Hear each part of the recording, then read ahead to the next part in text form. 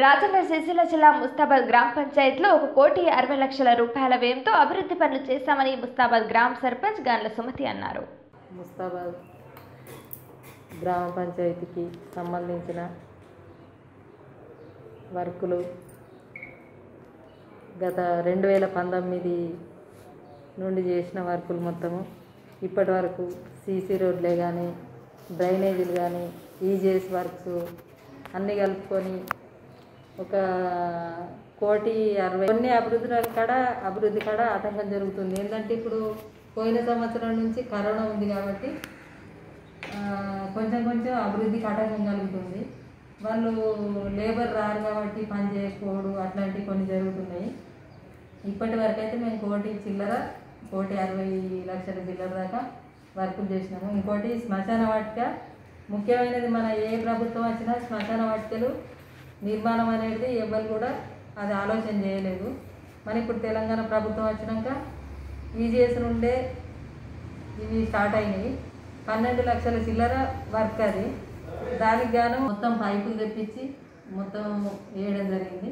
వేసి అక్కడ దాకా రోడ్డు కూడా మంచి రోడ్డు వేయడం జరిగింది. దానికి మన గవర్నమెంట్ కూడా సీసీ రోడ్డు శాంక్షన్ చేస్తా అన్నారు. కరెంట్ పోల్లు శాంక్షన్ అవుతాయి కానీ ఎడల మేము జీపీ నుంచే తీర్మానం చేసుకొని అమౌంట్ కూడా అది గవర్నమెంట్దే ఇది గవర్నమెంట్దే శాంక్షన్ చేసిన గవర్నమెంట్దే మేము తీర్మానం చేసుకొని పై అధికారుల సూచన మేరకు ఆ సీసీ రోడ్ కూడా ఆటంకం కలుగుతుంది. ఇంకోటి ఈ నెలవది రోజుల నుంచి ఇసుక మొత్తం బంద్ అయిపోయింది. అది కూడా ఒక ఇది అయిపోయింది. ఆంధ్ర వాళ్ళు పని చేసేటోళ్ళు అంతా ఆంధ్రాకి వెళ్ళిపోయారు.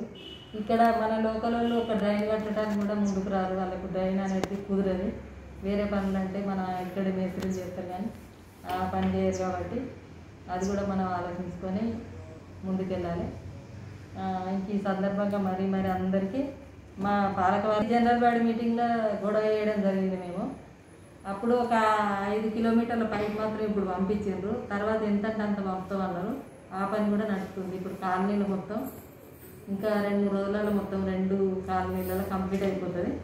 తర్వాత ఊళ్ళో కూడా పైపులు వేసడానికి సిద్ధంగా ఉన్నాము. ఒక్కొక్కటి ఒకదాని తర్వాత ఒకటి అభివృద్ధి అవుతుంటుంది.